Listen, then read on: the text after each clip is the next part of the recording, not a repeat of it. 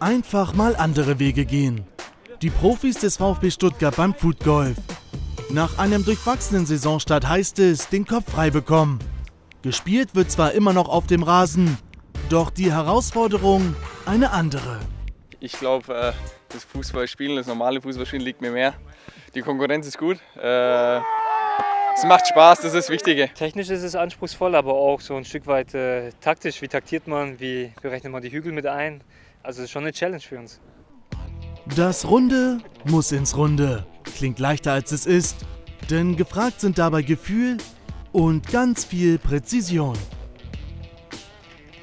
Spannend, hat tatsächlich äh, Spaß gemacht. Ähm, Wetter war perfekt. Ich war in einer sehr guten Gruppe. Ähm, sehr viel Qualität, ähm, ähm sogar zu viel Qualität äh, für mich.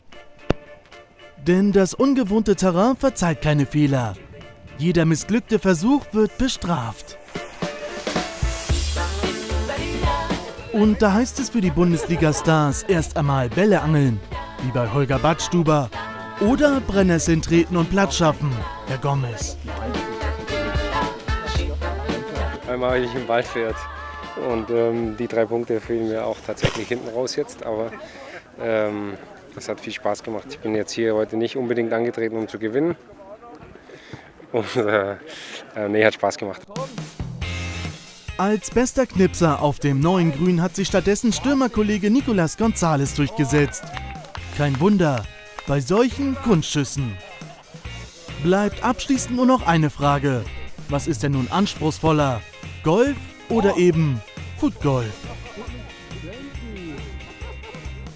Als Profifußballer kann ich glaube nicht sagen, dass mir dann äh, das, das, das Footgolf äh, schwerer fällt.